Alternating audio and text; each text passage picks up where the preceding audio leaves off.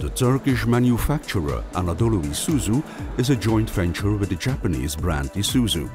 Isuzu is exporting to 35 countries but not yet Russia. With the Anadolu Isuzu joint venture and a plant in Istanbul, it wants to expand to 50 countries, also Russia. The company focuses on tailor-made buses and coaches.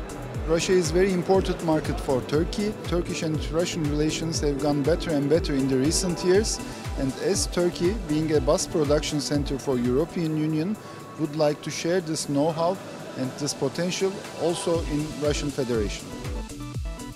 Isuzu has the will to set up a plant in Russia to produce mainly city buses with a low floor and especially designed to operate in smaller cities. The challenge now is to find a reliable Russian partner to start the local production.